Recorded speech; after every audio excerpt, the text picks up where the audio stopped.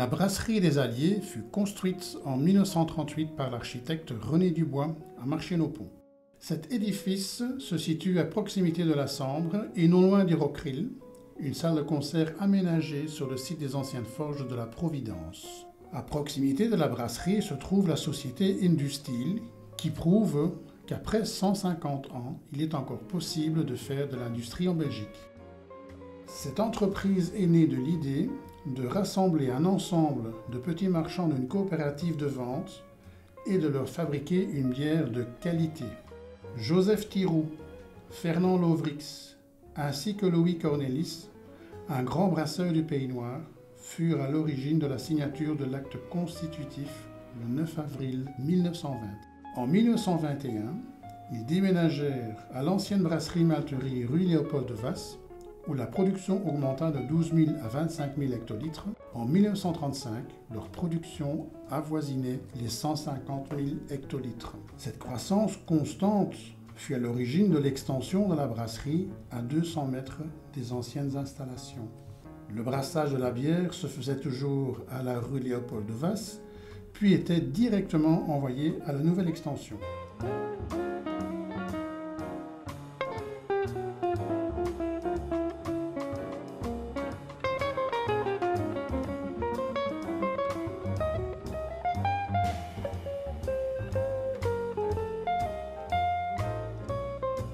La même année, la brasserie fut brillamment représentée à l'exposition internationale de Bruxelles. De style art déco, le pavillon des Alliés était le prémisse de ce qui allait devenir le futur bâtiment. René Dubois, malheureusement, mourut trois ans plus tard, peu avant l'inauguration de la brasserie.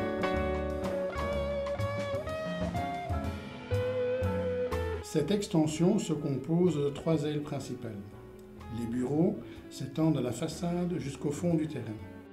Cette partie se développe sur quatre étages et comporte les bureaux du directeur, ceux des secrétaires, le service commercial, ses annexes, des salles de réunion et de banquet, ainsi qu'une salle de dégustation au sous-sol.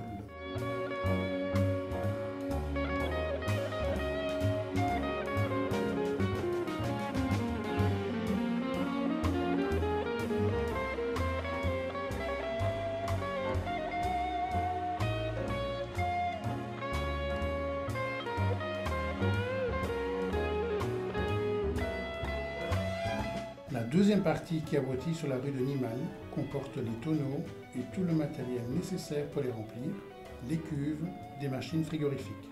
Ce bâtiment s'étend le long de la cour intérieure et possède également quatre étages.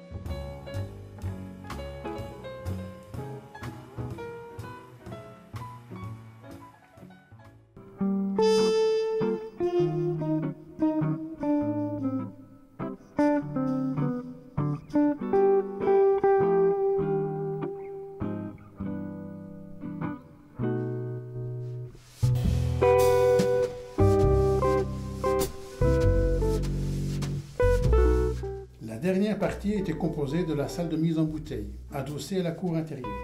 Cette section, s'étendant sur quatre étages, est reliée au bureau par une passerelle.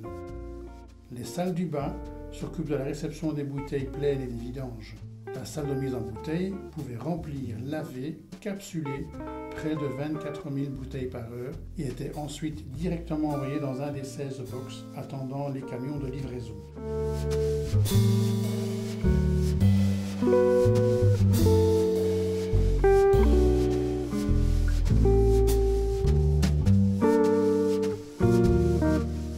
Sur une travée de la voûte repose un angle de la tour qui termine en façade le grand bâtiment de la bouteillerie.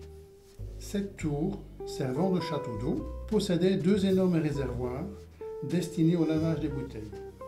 Une terrasse et un bar, se trouvant au dernier étage, permettaient de profiter du panorama tout en dégustant une extra alliée, une BAM ou allié stout.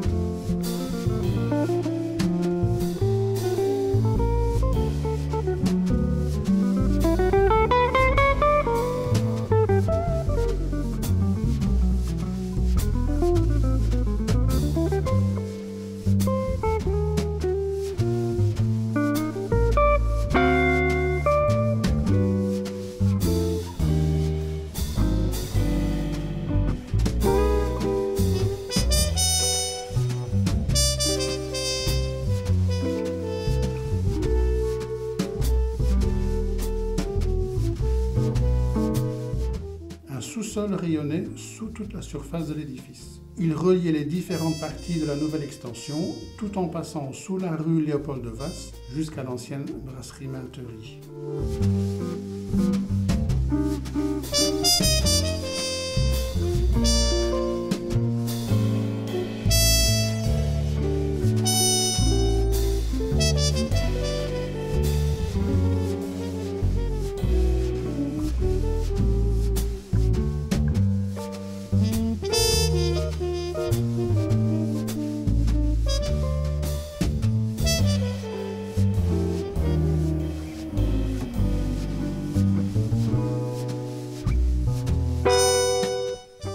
La construction est constituée d'une ossature en béton armé avec un remplissage en maçonnerie de briques.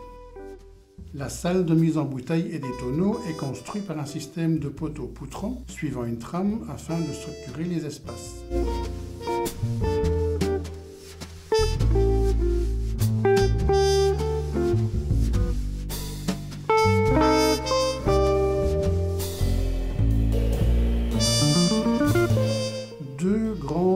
Compose le bâtiment.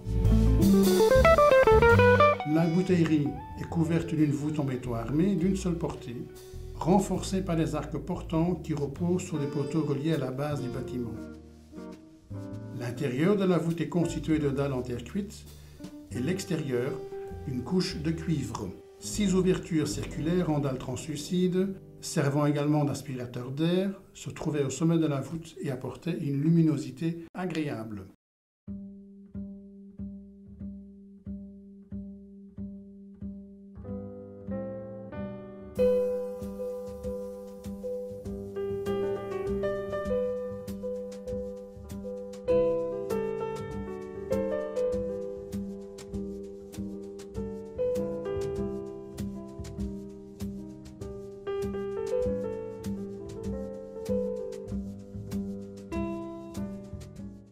Cour intérieure qui réceptionnait les camions était surmontée d'une voûte en béton armé de faible épaisseur, composée également de nervures supérieures et tirants. Pour permettre un éclairage suffisant, trois grands panneaux formés de dalles lumineuses composent également cette voûte.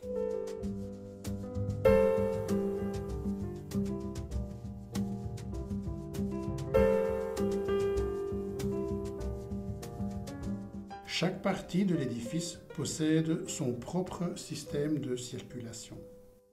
L'ensemble des bureaux et des dépendances sont reliés par un ascenseur, un escalier principal et également un escalier de service. Le premier donne un accès direct à la passerelle, tandis que le second était principalement réservé aux ouvriers.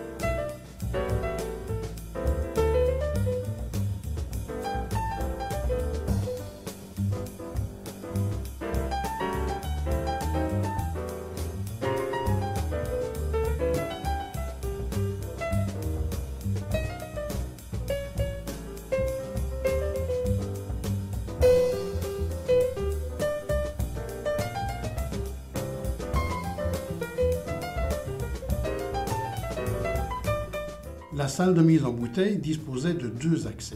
Le premier, muni d'un escalier et d'un ascenseur, traversait les quatre étages jusqu'à la passerelle.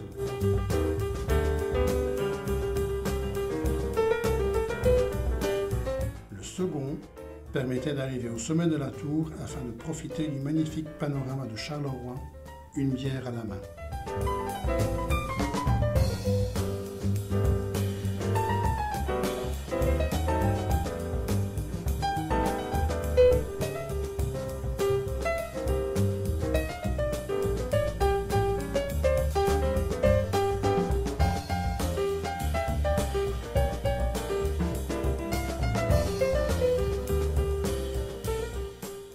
En 1995, la brasserie fut rachetée par Avetec, une société de produits abrasifs, car trop étroit dans leurs anciens locaux. Depuis ce jour, l'entreprise n'exploite qu'une partie des locaux, laissant le reste à l'abandon. Mais nous pouvons nous demander que faire de ce vestige. Des logements ou un espace culturel comme en 2013 avec l'exposition Capital Social, utilisant la brasserie afin de faire vivre la culture et de faire redécouvrir cet édifice historique Il pourrait également profiter de l'engouement de l'extension des microbrasseries pour en faire un laboratoire de savoir et d'expérience. Aujourd'hui, pour les habitants du quartier, la brasserie participe à la disgrâce de marché pont et n'est plus que l'ombre de ce qu'elle était.